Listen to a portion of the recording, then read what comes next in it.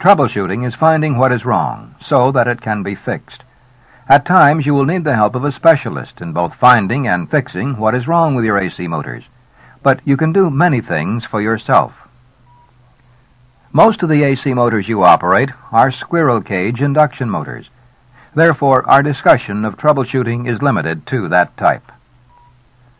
You can do a good deal of your troubleshooting by sight. Smoke coming from a motor is a sure sign of overheating and requires immediate attention. Notify your crew chief or head operator at once. One possible cause is overloading. Check the ammeter reading and compare with the nameplate ampere rating.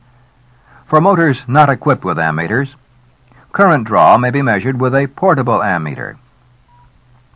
If an overload is indicated, it may be a process overload.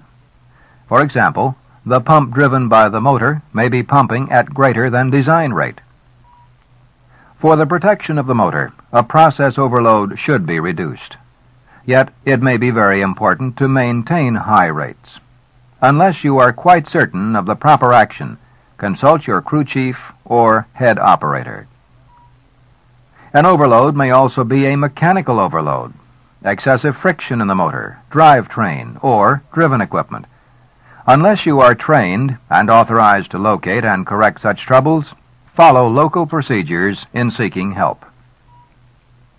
Visually observing dirt in the ventilating air is a good indicator of dirt in the motor, which can cause overheating. Cleaning motors requires training and skill. Get qualified and authorized help. Overheating may also be caused by short circuits or grounds. Finding and correcting these troubles is also the job of trained, authorized people. A highly visible trouble is failure of a motor to start. The trouble may be in the line, the electrical supply. Only qualified and authorized people are allowed to work on the electrical system. If the load is too heavy, the motor is likely to kick off. Remember the limitations on efforts to start a motor. It's easy to burn up a motor by repeated efforts to start it. Reduce the load or get qualified help to find the cause of the overload. You can do some of your troubleshooting by ear. Audible symptoms of trouble include excessive hum, regular clicking, and rapid knocking, but any unusual sound should be investigated. Excessive hum may be caused by an uneven air gap, which is an early warning that bearings need replacement. Or the hum may be caused by an unbalanced rotor.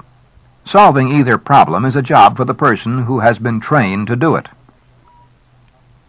A regular clicking is probably caused by foreign matter in the air gap. To remove foreign matter requires removing the rotor, another job for the trained and authorized person. Rapid knocking is probably caused by misalignment, causing the shoulder of the shaft to pound against the bearing end. Realignment must be done by trained people. Now turn to your workbook and complete exercise number six. Your instructor will answer any questions you may have.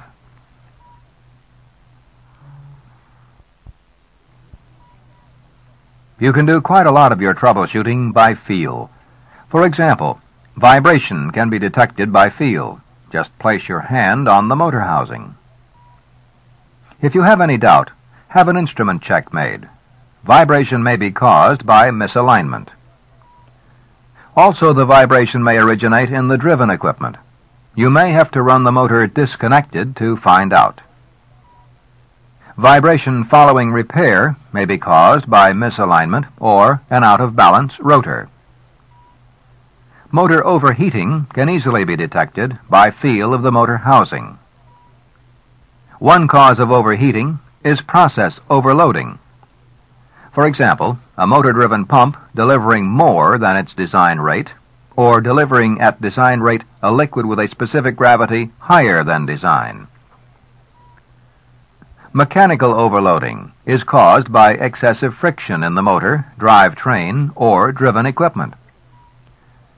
An overloaded motor requires more current, amperes, than its nameplate rating. you may still need help to determine the cause of the overload. To protect the motor, an overload should be reduced. Yet it may be very important to maintain rates. Unless you are quite certain of the proper action, consult your crew chief or head operator. Another possible cause of overheating is dirt in the motor. You can usually detect this condition by the presence of dirt in the ventilating air. Where a motor is equipped with filters, dirty filters can also cause overheating. Cleaning of motor or filters should be done by trained, authorized people.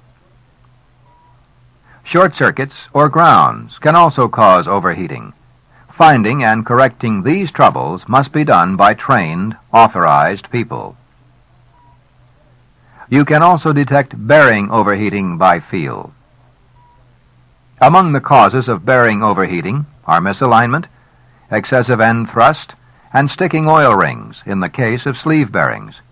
Follow your local procedures in correcting these causes.